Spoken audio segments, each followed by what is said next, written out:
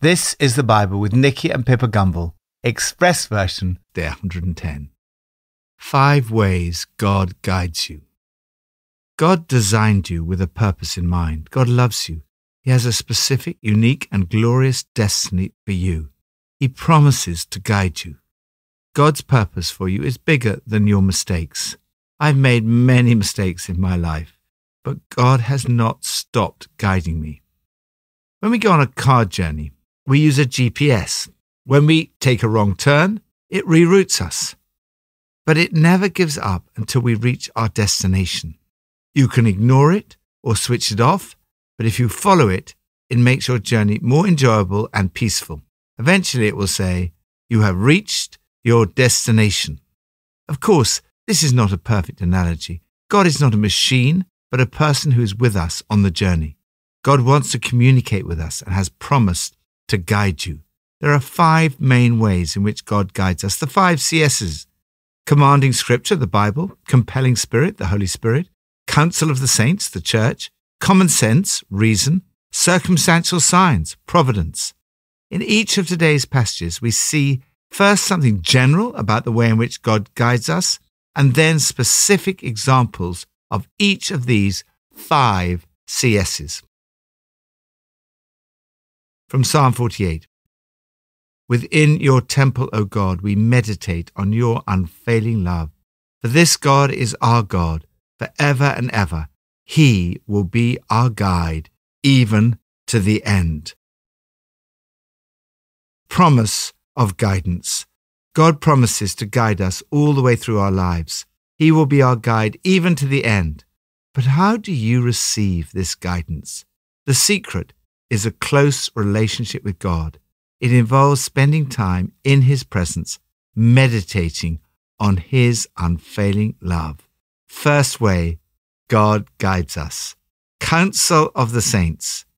Guidance is not an individual activity. It's significant that the psalmist says, Within your temple we meditate on your unfailing love. The temple was where the people of God came together to worship God. We receive guidance in the context of community. On our own, we can sometimes get things very wrong. God can speak to others as well as us, and it's always wise to seek advice about major decisions.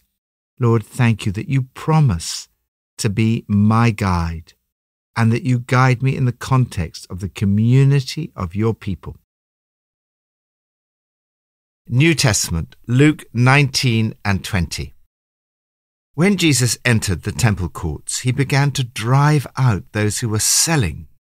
It is written, he said to them, My house will be a house of prayer, but you've made it a den of robbers.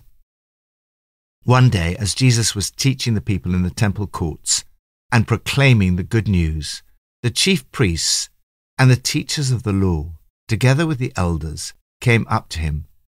Tell us, by what authority are you doing these things? They said. Who gave you this authority?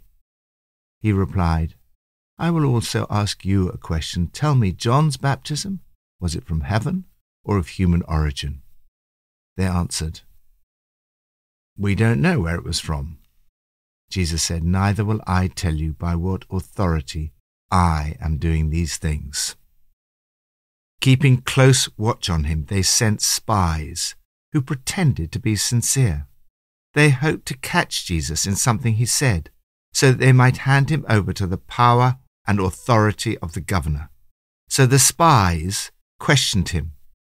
Teacher, we know that you speak and teach what is right, and that you do not show partiality but teach the way of God in accordance with the truth. Is it right for us to pay taxes to Caesar or not? He saw through their duplicity and said to them, Show me a denarius. Whose image and inscription are on it? Caesar's, they replied. He said to them, Then give back to Caesar what is Caesar's, and to God what is God's. Model of guidance. As in every other area of life, Jesus is our model of how to be guided by God. Living under God's guidance does not lead to a trouble free life. Jesus was constantly under attack from the religious police of his day. He did not shy away from controversy and confrontation. Indeed, in the parable of the talents, Jesus shows that God's servants can expect trouble. The servants were beaten, sent away empty handed, treated shamefully, wounded, and thrown out. When the Son was sent, they killed him. Divine guidance led Jesus to the cross. However, it also led to the resurrection. Behind it all was God's purpose and his victory. What Jesus did had the appearance of failure, but Jesus accomplished more in his life, death, and resurrection than any other person in history. Of course, much is said in the New Testament about the way in which God guided Jesus. In this passage for today, we see second way God guides us, commanding scripture. Be extremely careful to avoid any situation in which ministry is being used for personal gain. Jesus sees people who are trying to make money off the back of spiritual activity. He confronts the activity with the word of God. He says, It is written in scripture. My house is a house of prayer. You've turned it into a religious bazaar. Jesus' understanding of the will of God came from studying the scriptures very carefully. This is the supreme way in which God guides us all. Third way God guides us compelling spirit. When Jesus is questioned about his authority, he challenges the religious police with a question about John's authority. Jesus is suggesting that John received his authority from heaven, that is, from God himself. The clear implication is that Jesus' own authority also came from heaven. It came from his close relationship with God. Even his opponents recognized the truth in Jesus' teaching. Jesus was not willing to curry favor or to show partiality. He was guided by what he knew to be the truth. He spoke the truth fearlessly. Jesus challenges the premise behind their question to what earthly power should we give our primary allegiance? The key issue, he explains, is whether we give God the primary allegiance we owe him, whether we count ourselves as citizens of his kingdom before any earthly one. We should give to Caesar what is Caesar's, and to God what is God's. They were astonished by Jesus' answer and became silent. Luke tells us that Jesus was led by the Spirit Presumably, it was the Holy Spirit who gave Jesus his answer. As Jesus walked in this close relationship with God, studying the scriptures and teaching the truth, the Holy Spirit, the Spirit of truth, prompted him with words of extraordinary wisdom.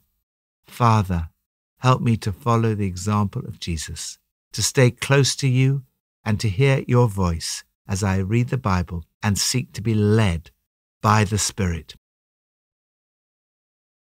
Old Testament from Deuteronomy 31 and 32. In a desert land he found him, in a barren and howling waste. He shielded him and cared for him. He guarded him as the apple of his eye, like an eagle that stirs up its nest and hovers over its young, that spreads its wings to catch them and carries them on its pinions. The Lord alone led him example of guidance. A century or so ago, a ship in a storm was dashed against the rocks in Cornwall in the southwest corner of England. A 15 year old sailor swam to safety on an offshore rock. He climbed up and waited all night until he was rescued the next morning. A reporter interviewed him and commented, You must have been shaking all night as you clung to that rock. Yes, the young sailor replied. I trembled all night with fear and cold. Then he added, But the rock never trembled once. As Moses comes to the end of his life, he reflects on the way that God has guided his people throughout his life and has been their rock. He's your rock. He is solid, stable, dependable, always the same, and totally reliable. He does not have his ups and downs as we do. You can trust in his unwavering faithfulness. He will always be there for you. God is not only the rock, he's also your father. Moses described how God guided and led his people Israel with a father's love. In a desert land, he found him in a barren and howling waste. He shielded him and cared for him. He guarded him as the apple of his eye, like an eagle that stirs up its nest and hovers over its young, that spreads its wings to catch them and carries them on its pinions. The Lord alone led him. Fourth way which God guides us circumstantial signs. He goes on to describe how God in his providence looked after his people. He fed him, nourished him with honey, oil, curds, and milk, lambs and goats, the finest grains of wheat, the foaming blood of the grape. These were the providential signs of his presence with them on the road. However, God's people, here described as Jeshurun, meaning the upright one, that is Israel, abandoned the God who made Jeshurun and rejected the rock, his Saviour. It was this rejection that led to God saying, I'll hide my face from them. Sometimes it is sin that prevents us from hearing God's voice. Sin can lead to disaster. Now we have a remedy in the death and resurrection of Jesus. The blood of Jesus, his Son, purifies us from all sin. If we confess our sins, he's faithful and just and will forgive us our sins and purify us from all unrighteousness. Fifth way in which God guides us common sense. When we fall, as we all do, the sensible thing is to get up quickly. Part of guidance generally is doing the sensible thing. This was Moses' complaint. They're a nation without sense. There is no discernment in them. If only they were wise and would understand this and discern what their end will be. God made us thinking beings. He guides your mind as you walk in a close relationship with Him. Avoid a super spirituality that expects an inward voice to guide every little detail of your life. Moses returned at the end of his song to the Word of God. Take to heart all these words to which I give witness today and urgently command your children to put them into practice. Every single word of this revelation. Yes, this is no small matter for you. It's your life. Lord, thank you for the way that you have led me through all these different ways at different times. Thank you that you have had compassion on me. Help me to take to heart all the words you've spoken and to obey them carefully.